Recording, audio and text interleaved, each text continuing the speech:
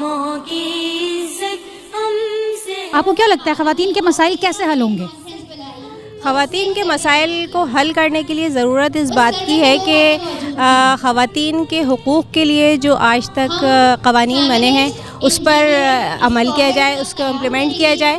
اور اس کے حوالے سے خواتین میں بھی اویئرنیس ہونی چاہیے کہ ان کو پتہ ہو کہ ان کے حوالے سے کیا کیا قوانین ہمارے اس ملک میں موجود ہیں یا ہمارے اسلام نے ہمیں کیا حقوق دیے ہیں۔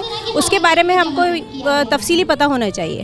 یعنی ابھی تو خواتین کو یہ پتہ ہی نہیں ہے کہ ان کے اصل میں مسائل کیا ہیں اور ان کے حقوق کیا ہیں۔ تو یہ جو خواتین کانفرنس کا نکات ہوا ہے اور آپ یہاں پہ شریک ہوئی ہیں تو آپ کو کیا لگتا ہے خواتین کانفرنس سے فائدہ ہوگا؟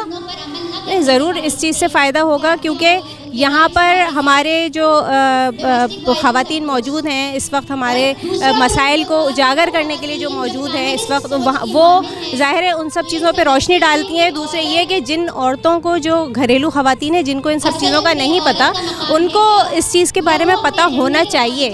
اور وہ اس چیز سے یہ بہت اچھی کوشش ہے اور اس سے ان لوگوں کو پتہ چلے گا کہ ان کے کیا حقوق ہیں یا ان کے لیے، ان کے حوالے سے کیا قوانین موجود ہیں۔